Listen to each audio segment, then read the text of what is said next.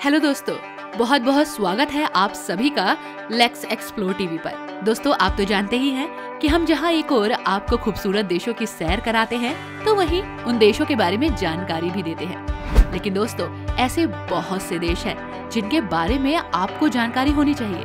वो देश अक्सर सुर्खियों में रहते हैं। बेशक आप उन देशों को घूमने ना जा पा रहे हो, लेकिन देशों के बारे में जानना तो आपका अधिकार है। और आपके इस अधिकार को पूरा करने के लिए लेक्स एक्सप्लोर आपके साथ है। दोस्तों, आज हम आपको जानकारी देंगे और खूबसूरत जगहों की सैर कराएँगे नॉर्थ कोरिया की। जी हाँ दोस्तों, नॉर्थ कोरिया, एक ऐसा देश जिसके बारे में जानने के लिए लोगों में उत्सुकता बनी हुई है। क्योंकि इस देश की कई बातें हैं जिनसे अभी भी काफ़ी लोग अनजान हैं। और हाँ दोस्तों, ये वही देश है जहाँ से जुड़े हैं किम जोंग उन। जी हाँ नमस्कार दोस्तों लेक्स एक्सप्लोर टीवी पर एक बार फिर से आपका स्वागत है। हमारे चैनल को सब्सक्राइब करिएगा और वीडियो को लाइक एंड शेयर भी करिएगा। चलिए, शुरुआत करते हैं नॉर्थ कोरिया की जानकारियों के साथ। दोस्तों नॉर्थ कोरिया ये देश आज के समय में किसी न किसी मुद्दे को लेकर हमेशा सुर्खियों में बना रहता है। हम सबको तो ये मालूम है कि इस देश को तानाशाही ताकतों द्वारा चलाया जाता है। मगर ऐसे कई सारी रोचक बातें हैं इस देश के बारे में जिनकी खबर शायद ही आपको मिलती हो। इस देश में ऐसी ऐसी चीज़ें होती हैं जिनके बारे में सुनकर आप अपना सर पकड़ लेंगे। इन सब अजीब गरीब चीज़ों की खबर उस देश से बहुत ही कम बाहर निकलती है। दोस्तों, उत्तर कोरिया को आधिकारिक तौर पर dramatic people's republic of Korea कहा जाता है, जो पूर्वी एशिया का एक खूबसूरत देश है। नॉर्थ कोरिया की सबसे ऊँची बिल्डिंग खंडहर जैसी है दोस्तों। देश की राजधानी पेंगुआंग में ये सबसे ऊँची बिल्डिंग है। लेकिन ये बिल्डिंग इतनी खंडहर हो चुकी है कि इसे कयामत का होटल भी कहा जाता है। गिनीज वर्ल्ड रिकॉर्ड के अनुसार एक फीट ऊँची ये बिल्डिंग दुनिया की सबसे ऊँची खाली इमारत है। भले ही 2023 में हम जी रहे हों, लेकिन नॉर्थ कोरिया के लिए ये 111वां है। उत्तर कोरियाई कैलेंडर 15 अप्रैल 1912 से शुरू हुआ है और इस देश के संस्थापक किम सुंग के जन्म की तारीख को दर्शाता है। नॉर्थ कोरिया ने अपने नागरिकों को साउथ कोरिया की सभी चीज़ों से दूर रहने की चेतावनी दी है दोस्तों, जिसमें साउथ कोरिया का फ़ैशन, फ़िल्म और संगीत भी शामिल है। इस आदेश को न मानने वाले कम से कम सात नॉर्थ कोरियाई लोगों को मौत की सजा भी मिल चुकी है। जरा सोच के देखिए, आप नॉर्थ कोरिया में हैं तो आप साउथ कोरिया के फ़ैशन को फॉलो नहीं कर सकते, न ही उनकी फ़िल्मों को देख सकते हैं।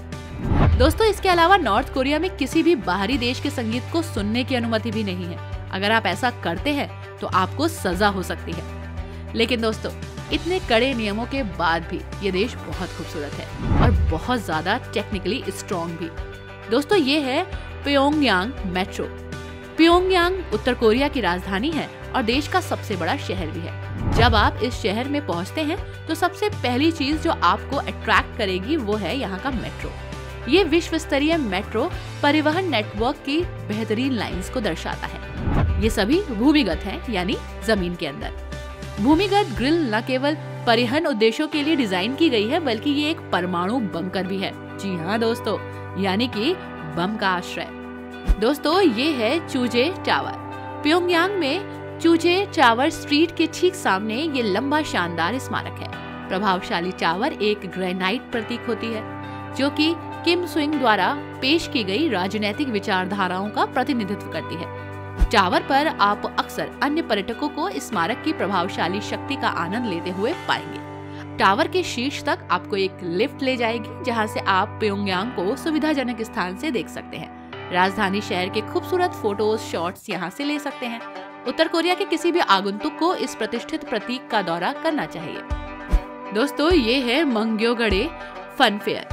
ये सॉन्ग्स हिल के तट पर है। शहर वासियों के घूमने के लिए ये बहुत ही खूबसूरत और आरामदायक जगह है। मेड हाउस में आप आराम से रोलर कोस्टर की सवारी कर सकते हैं और बेहतरीन एक्सपीरियंस ले सकते हैं। और हाँ दोस्तों, जब भी आप इस शहर में हो तो बच्चों के इस महल में जाना मत भूलेगा यहाँ बच्चों और युवाओं द्वारा बनाई गई, उनके द्वारा रची गई वो सारी चीज़ें हैं जिन्हें देखना तो बनता है। यहाँ आपको जिम्नास्टिक संगीत मार्शल आर्ट सब कुछ मिलेगा। वो भी काफ़ी ट्रेंड लोगों के द्वारा। इसी के साथ दोस्तों, यहाँ पर आपको कोरियोग्राफर्स भी मिलेंगे, जो कि आपको बहुत खूबसूरत और लुभावने प्रदर्शन का आनंद देने के लिए मौजूद होंगे। आपको यहाँ का एक्सपीरियंस ज़रूर लेना चाहिए। दोस्तों नॉर्थ कोरिया को प्रकृति ने बहुत कुछ दिया है। यहाँ बहुत ही खूबसूरत नज़ारे आपको देखने को मिलेंगे। ये है पैक्टू पर्वत और चांगबाई रेंज यहाँ आप ऊँचे पैक्टू पर्वत का आनंद ले सकते हैं। जो चांगबाई रेंज का सबसे ऊँचा पर्वत है। ये सक्रिय ज्वालामुखी पर्वत 9003 फीट की ऊंचाई पर है। दोस्तों, इस विस्मयकारी पर्वत की चोटी पर एक बड़ी सी झील है, जिसका नाम है पैगदुसन झील इस झील को कोरियाई लोग पहाड़ी झील भी कहते हैं। झील का उत्तर कोरियाई लोगों के लिए बहुत ही पौराणिक महत्व है और आध्यात्मिक भी। पैक्टू पर्वत से एक प्राकृतिक झरना बहता है, जिसे बैकडू स्पा कहा जाता है। यहाँ ज़रूर आए। यहाँ का एक्सपीरियंस बहुत ही खास होगा। दोस्तों, ये है म्योयांग सेन।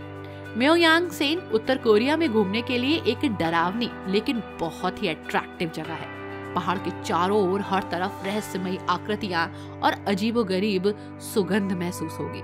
पहाड़ को एक पर्वत भूमि माना जाता है, क्योंकि इसे राजा ताहुन का घर कहा जाता है, जो सभी कोरियाई लोगों के पूर्वज थे।